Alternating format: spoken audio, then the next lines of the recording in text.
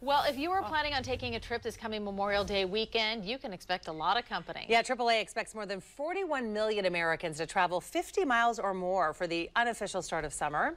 That is up nearly 5% from last year. And gas prices are also up. In fact, Washington and Oregon are ranked third and sixth, respectively, as the most expensive states to fill up right now. If you want to get the most out of your tank, Tony has five tips to help you in today's Behind the Wheel.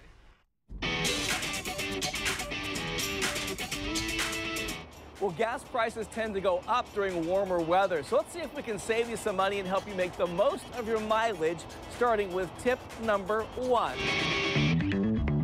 Check your tire pressure. Just eight pounds of underinflation can increase your rolling resistance by 5%. That's a waste of fuel. Tip number two, use your cruise. Cruise control brings consistency to your driving, and on a long trip, it can add up to 6% in your fuel efficiency. Tip number three, if your car has an economy mode, use it. It cuts the engine when you're stopped and sets the transmission to use the highest gear possible at any given speed. High speeds and low gears can burn up to 45% more fuel than you need to. Number four, smooth out your driving. If you're constantly flooring it and hitting the brakes, you're wasting fuel. Driving technique alone can save you 30% in your fuel efficiency.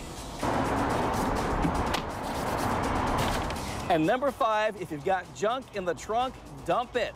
Lighter loads mean better fuel economy. An extra 100 pounds in the trunk can reduce fuel economy by 2%.